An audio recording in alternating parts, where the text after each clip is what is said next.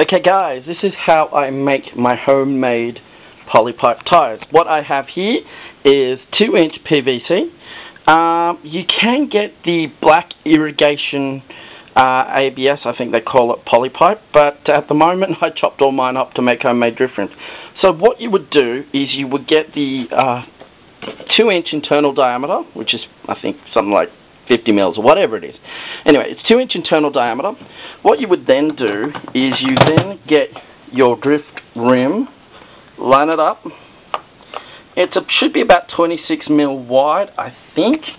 But what you would do is then get a marking pen or a pencil, and then you basically allow two millimeters wider than the actual rim. So, you know, about there also. Then what you would do is you would use a device like a miter saw, which is what we have here. Um, it's basically a hacksaw with a fancy little doohickey on it that allows you to um, cut straight lines through pipe. Um, what you would do is you would then secure this into place with the little thing there and you would cut along the line that you have marked as the width of your tyres. Of course this is a rough guide to making um, drift tyres. Um, as I said, I've already pre-cut mine, so that's basically how I'm, i do it, is uh, measure the width I need for the rim, allowing 2 mil extra. So basically my rims have a little bit more protection against bashing into gutters. If I cut it exactly the same length or the same width as the rim, then when you slide into a gutter, your rims take the full front of it, and that's not what we want. So, as I said, for the purpose of this vid, I will be using the black polypipe tire. And yeah, so that's basically what I would do, is measure it, cut it, and then I'll show you what to do in the next step. Okay guys, as you can see, I've already pre-cut my uh, black polypipe to the same width as my rims, allowing about 2 mil extra. Um, basically when you've uh, cut the pipe, they end up pretty, well, shaggy. Not that attractive. In fact, they look nowhere near like a tire.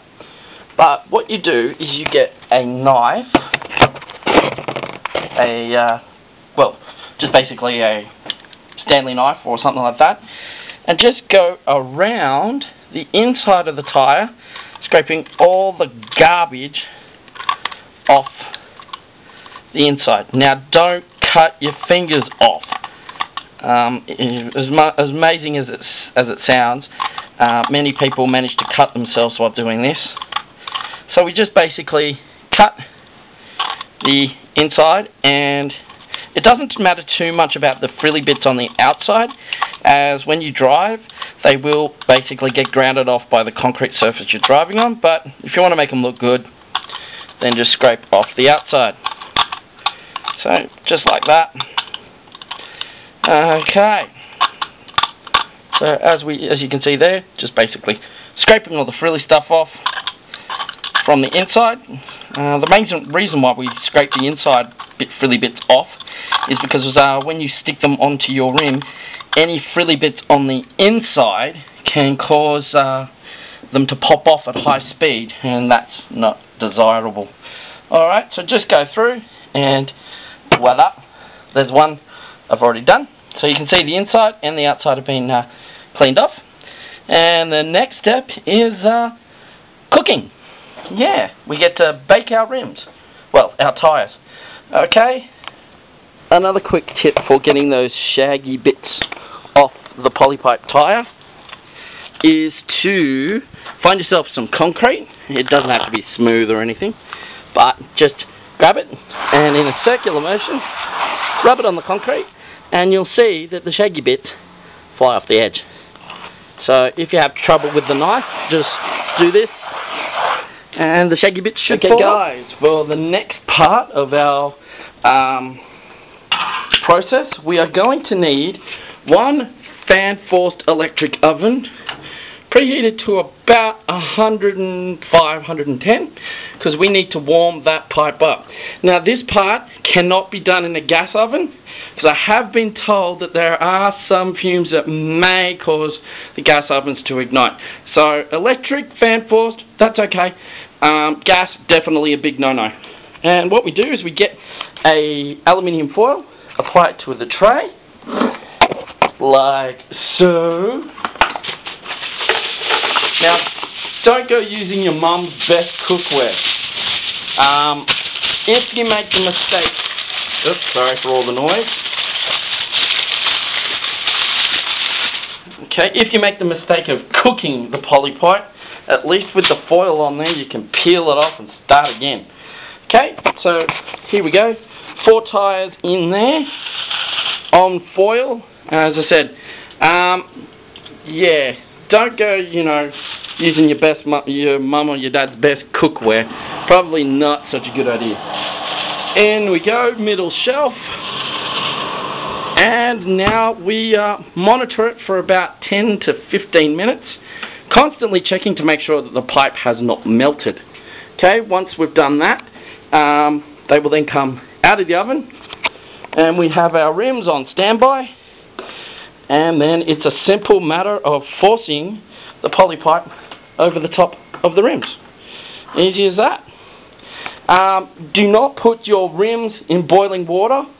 Do not put your rims in the oven. You're only baking the tyre or the Polypipe. Um, if you put are silly enough to try and uh, put your rims in the oven to remove the tyre at a later date, you will buckle your rims. So do not put your rims in boiling water or anything like that. Okay? Okay, our rims have been in the oven for a little bit, approximately five minutes. Um, as I said, that's about 105 degrees, roughly. It just needs to be hot enough to warm the plastic up, not melt it. Um, and since this is irrigation pipe, it's used to handling hot water and things like that. Um, 100 degrees boiling water can soften them up enough for you to ram on your rims. But um, here comes the next step, which is we grab our rims, which are there.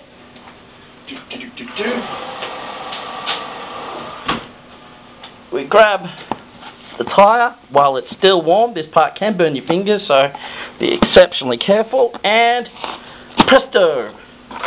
One drift tyre done. Easy! out of the oven. Hot potato, hot potato. Oop, can't sing that. Might get in trouble. Okay, force it over the rims and press down. Okay, here comes the next one. Now, the time in the oven may vary uh, depending on what sort of oven you got, but electric fan forced at 105, you, you wouldn't even need to leave them in there for any more than about two to three minutes.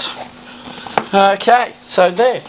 Push down, and when it cools, it'll shrink over the top of the rim. So there we have it. Your drift homemade ghetto drift tyres are mounted. If you want to mount them a little bit tighter, flip them over, push down again. So flip them over, push down. Easy as that. Done.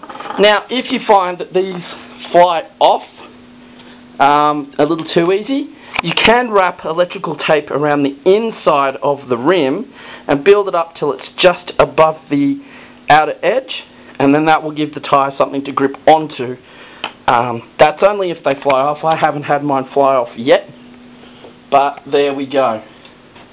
That's basically how you bake and make your own drift tyres. Easy as that. Alright guys, there you go. Nice and simple. Okay, see ya.